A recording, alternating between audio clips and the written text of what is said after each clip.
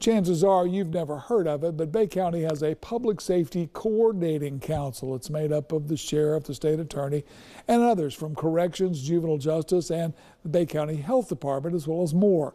Uh, during today's quarterly meeting, State Attorney Larry Basford discussed some alternative programs that's reducing county jail populations. Uh, they give nonviolent offenders a chance to get back on the streets while staying out of jail working with the judges, working with the defense attorneys to try to make the best use of all of our resources and to move the cases as quickly as possible, but at the same time assuring that the justice system works for everyone.